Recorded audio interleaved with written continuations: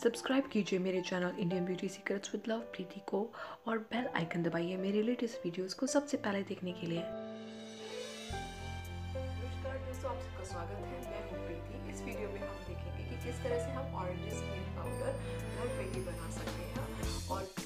किस वो ख़राब ना हो और किस तरह से हम उन्हें स्टोर कर सकते हैं।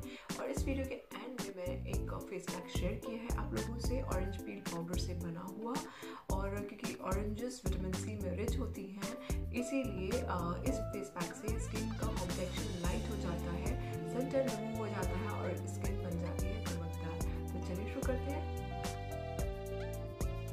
ऑरेंज पील पाउडर में एंटी बैक्टीरियल और एंटी माइक्रोबियल प्रॉपर्टीज़ होती हैं और इसमें एस्ट्रोजन और एंटीऑक्सीडेंट प्रॉपर्टीज़ भी होती हैं।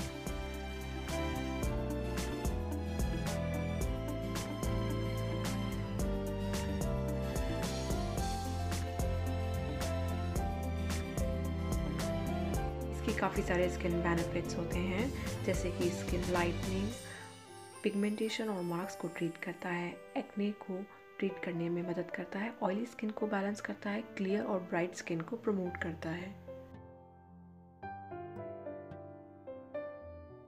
कुछ ऑर्गेनिक ऑरेंजेस हम पहले ले लेंगे, फिर उसे वॉश करके और एक क्लीन कॉटन के क्लोथ से उसे हम पाइप ऑफ़ कर देंगे।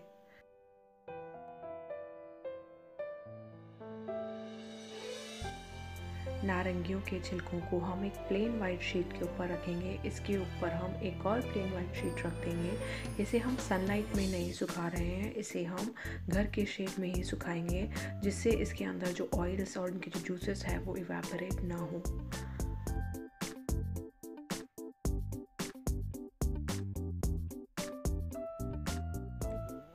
इन्हें हम सात दिन के लिए ड्राई होने के लिए छोड़ देंगे।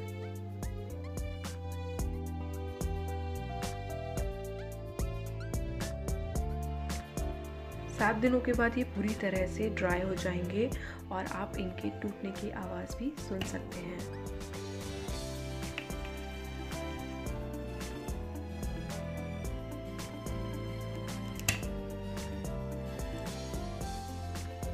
अब हम इन ऑरेंजेस के छिलकों को मिक्सी में चलाएँगे और इसका एक पाउडर बन जाएगा। अब आप देख सकते हैं, ये लाइट ऑरेंज कलर का बना है और इसकी पाउडर की जैसे कंसिस्टेंसी है। ये हमारा ऑरेंज पील पाउडर रेडी है यूज़ करने के लिए। अब इसका एक फेस पैक बनाएँगे। दो चम्मच ऑरेंज पील पाउडर एक चम्मच दही और एक चम्मच शहद इनको आपस में मिलाएँगे और ये हमारा फेस पैक रेडी है। इस फेस पैक को लगाने के बाद 15 से 20 मिनट्स के बाद अपने फेस को नॉर्मल वाटर से वॉश कर लें।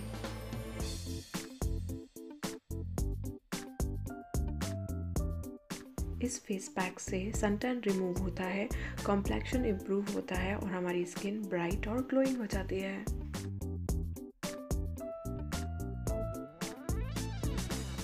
अब इस ऑरेंज पील पाउडर को आप एयर टाइट कंटेनर में रखकर और इसके ऊपर आप डेट लगा दें जब आपने इसको प्रिपेयर किया है और इसे रेफ्रिजरेटर में आप स्टोर कर सकते हैं।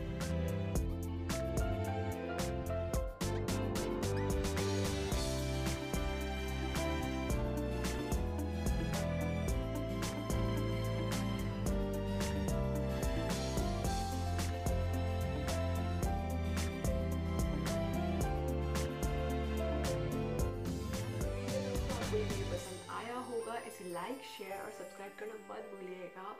और आपके मन में कोई विचार है तो मुझे कमेंट बॉक्स में ज़रूर ज़रूर लिखिए। मैं उन्हें जल्दी से जल्दी आंसर करने की कोशिश करूँगी। दोस्तों, आपका दिन शुभ रहे। तो अगली बार तक के लिए स्टे ब्यूटिफुल एंड स्टे